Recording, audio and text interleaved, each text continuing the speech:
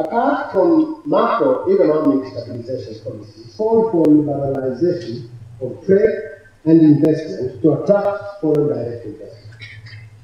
By the end of 1990s, most countries in Africa had fully liberalized trade with open current accounts and most of the exchange rates were managed through while it can be generally agreed that in any country where markets are efficient, resources are best by the private sector and the free market system, it seems to me that liberalization has been overstretched beyond what is essential, namely guarding against the pain in low quality imported products and dumping of substandard goods.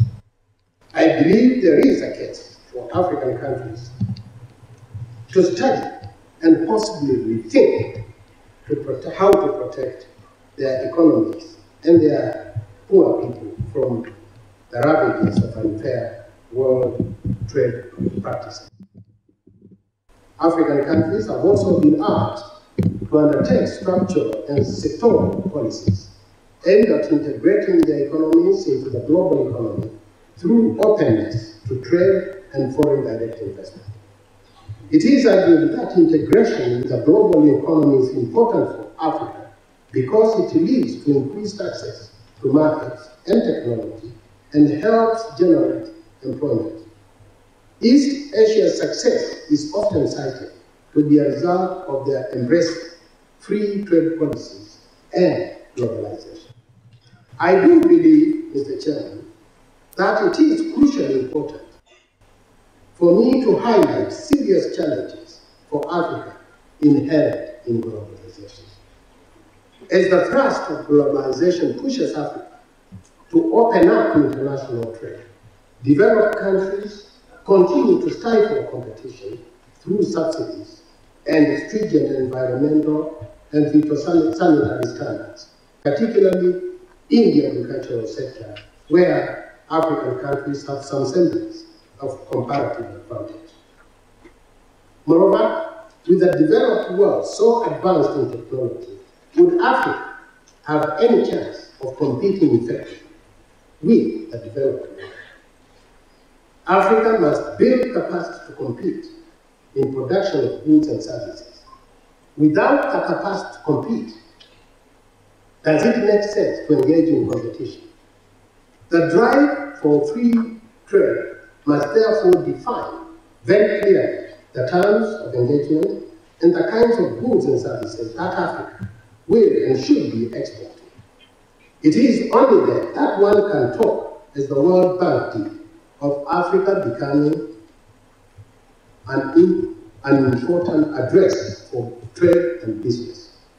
Openness with the rest of the world should allow and even encourage Africa to develop capacity first, to export high value and modern technology based products.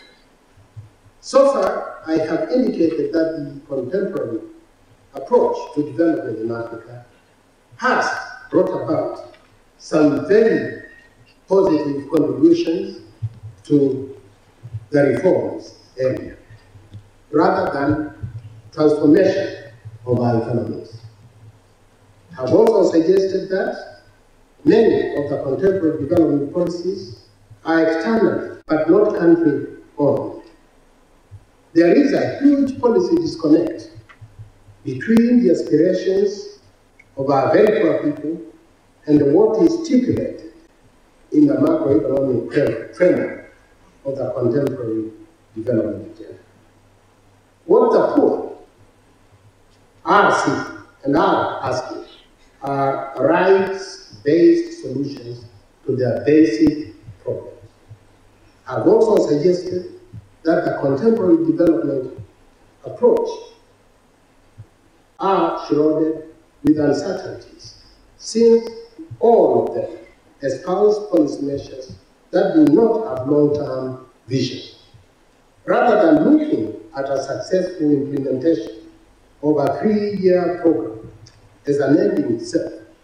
Africa needs to visualize where it wants to be in 15 to 25 years.